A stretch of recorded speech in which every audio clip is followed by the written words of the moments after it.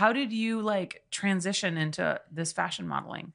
I haven't completely transitioned. I want to, Mm-hmm. but I still do sex work. Mhm. but I what did what was I doing? I I've always wanted to be a mainstream model Mhm. and actress, but porn came first. Mhm. And it's how I pay the bills, it's how I make money. Also it was fun.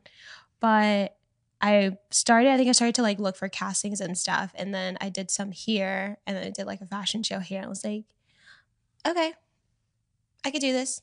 Mm-hmm. And then I went to New York and I was like, I'm gonna finally do the big four. I'm gonna do the big three.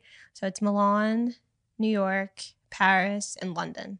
Mhm. I didn't do London because it was like so close, and I was like, okay, I didn't I didn't have time to prepare for that. So I did New York, and I was like, okay, this is cool, but the fashions weren't fashioning, so I was like, okay, maybe next year will be better.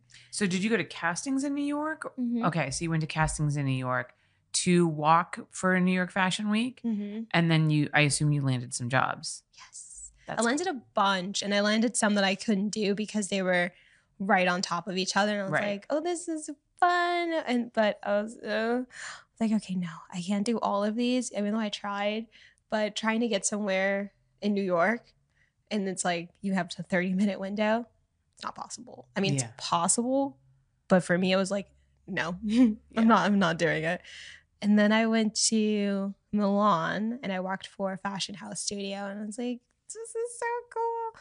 And then my height was an issue because I'm not like 5'10. Yeah. But they knew that. They booked me before and they knew that I was 5'7. So I was like, But then they still gave you shit when you got there?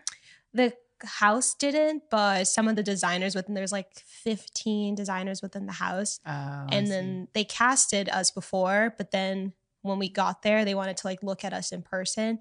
And i had on platforms so i looked taller but they were like put clothes on me and they're like no no. And i was like shit i know it's my height. But one designer i didn't appreciate it. They knew my height. They saw me standing there. They put clothes on me and one of the designers there was like two of them within that one house they the woman was like mm, i don't like it because i can't see more torso because i was wearing a bodysuit but i had Mhm. jeans on Mhm. and so she took my outfit off of me put it on a, a taller model and then put a jacket on the model and i was like why don't you just put a jacket on me if that's what you were going to do Mhm. but she put it on the white girl and i was like Mm. okay How did you what how was the like what was the vibe and how were you treated there? Like how was it different than the way you're treated like on adult industry sets? I was treated honestly pretty pretty nicely. Besides that one incident, which it's fashion, I get it. If it, Mhm. you don't like it on me, you might like it on her. It's fine. But I think that was the only thing. Besides that, like I didn't have any hair problems. I know that's a big thing in the fashion industry, Mhm. But my hair was short, so I was like, mm, they. You were wearing it the way you have it now, right? Mhm. Like it was short a little and, longer like- and curlier. Okay. I just permed it the other night. It started to fall out.